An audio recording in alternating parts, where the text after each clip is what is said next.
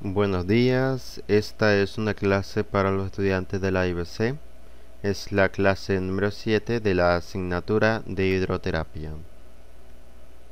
Bien, ya hemos hablado acerca de los principios y también de las diferentes técnicas dentro de la hidroterapia. Pues ahora vamos a hablar acerca de las precauciones, las indicaciones y las contraindicaciones de este tipo de terapéutica.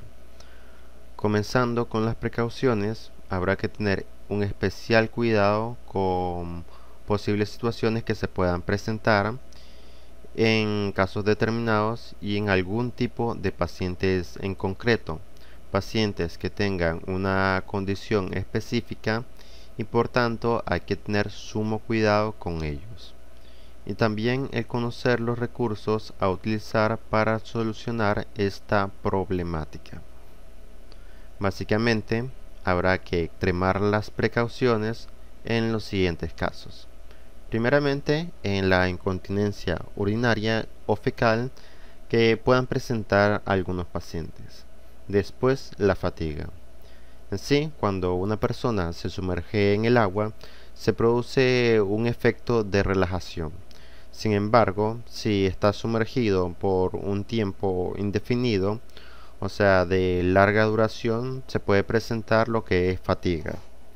Después están los trastornos de termorregulación y la epilepsia. Epilepsia, básicamente, los trastornos de termorregulación están sujetos a esta, pues es el uso del agua a diferentes temperaturas de una manera inadecuada como por ejemplo el uso de agua a temperaturas calientes en caso de hipertensión, o sea, si el paciente tiene hipertensión. Este sería un ejemplo de problemas con la termorregulación. Después está también lo que son las rosaduras y traumatismos cutáneos pacientes portadores de válvula de derivación ventrículo peritoneal.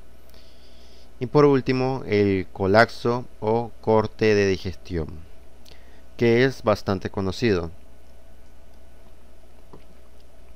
Se puede definir en una imagen. Que es esta Básicamente, el corte de digestión es la parada súbita del proceso de gestión durante la digestión, el sistema eh, más activo es el digestivo. Es ahí donde el flujo sanguíneo está más concentrado y el resto del cuerpo recibe solamente un aporte de sangre un poco menor. Y esto es necesario para que se realice el proceso digestivo de una manera adecuada. Si en el proceso de gestión el cuerpo entra en contacto brusco con una temperatura baja, la sangre se verá obligada a repartirse por el cuerpo para contrarrestar la pérdida de calor, lo que va a originar mareos y vómitos.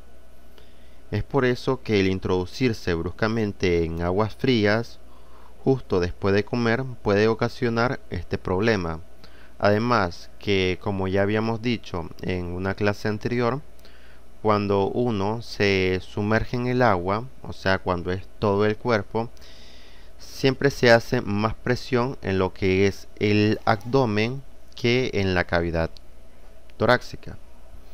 Por ende, ocurre todo esto. Entre otras precauciones, tenemos que si el paciente presenta cabello largo y se encuentra en una bañera de hidromasaje, se deberá hacer una cola para evitar que se, el cabello se atore en el filtro.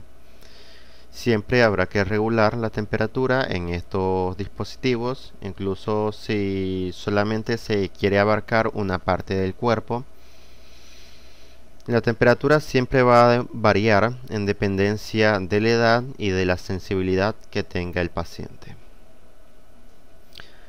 Entre otras indicaciones también tenemos evitar llevar objetos metálicos al introducirse en agua caliente, evitar tener objetos eléctricos cerca de las piscinas o bañeras o cualquier otro método o mecanismo de hidromasaje.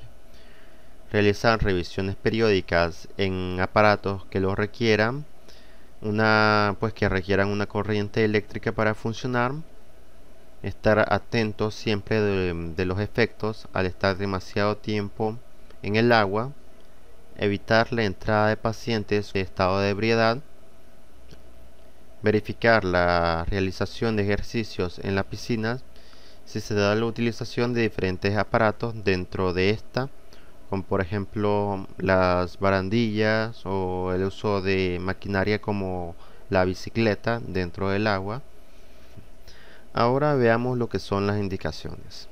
Bien a pesar de que el tipo de paciente que acude al servicio de rehabilitación funcional padece disfunciones de origen neurológico hay que remarcar que son patologías que suelen conllevar trastornos asociados de diferente índole, o sea que están indicados en diferentes problemas, tales como patologías reumáticas o traumatismos, patologías cardiorrespiratorias, patologías metabólicas, trastornos psíquicos, pacientes geriátricos, esto de geriátricos es pacientes en edad avanzada, afecciones dermatológicas mm, no purulentas, patología de tipo pediátrico y también enfermedad o patología neurológicas. Esto que había dicho de las afecciones dermatológicas no purulentas es propiamente en el uso de piscinas. Ahora veamos lo que son las contraindicaciones. Aunque son muy numerosas las indicaciones de la terapia acuática, hay que tener en cuenta que también existe un gran listado de contraindicaciones, es decir, situaciones durante las cuales evitaremos realizar este tipo de tratamiento para evitar posibles complicaciones del paciente. Es como había dicho, del uso del agua caliente, eh, cuando un paciente tiene hipertensión o el uso del agua fría cuando ésta tenga hipotensión o un problema con la irrigación sanguínea. Aún así, hay que hacer una, una distinción entre estas. Primeramente, las contraindicaciones absolutas y las relativas. Las absolutas, en las que no se realiza tratamiento por ningún motivo, básicamente y las contraindicaciones relativas en las que se podrá realizar este tipo de terapia teniendo muchas precauciones. En sí, con relación a los principios de hidroterapia, ya sabemos que son los mecánicos y los térmicos. Los térmicos son de bastante importancia en lo referente a las indicaciones y las contraindicaciones de los mismos, porque van a producir ciertos efectos o condiciones en el paciente.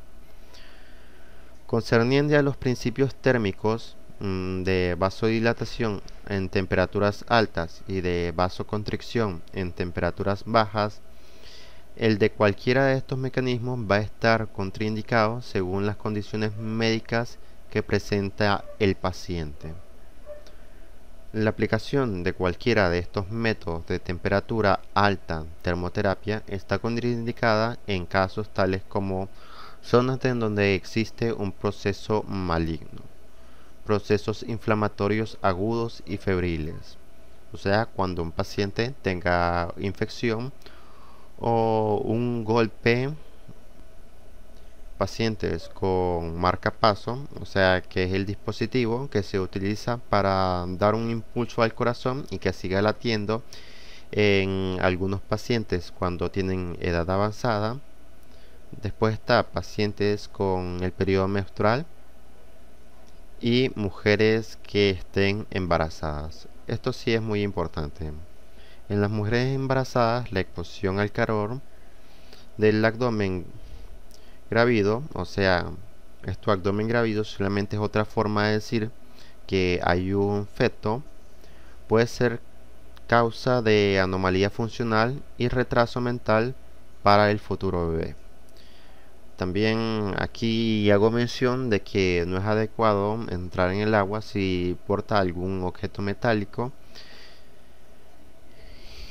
Y ahora cuando hablamos de temperaturas bajas, lo que es el otro punto o crioterapia, está contraindicado en cualquiera de estos casos. Primeramente, la presencia de isquemia, el síndrome de Raynaud, en casos de anestesia o hipoestasis cutánea, en pacientes con alergia al frío, la presencia de crioglobulemia y ante una respuesta tensional generada por el frío.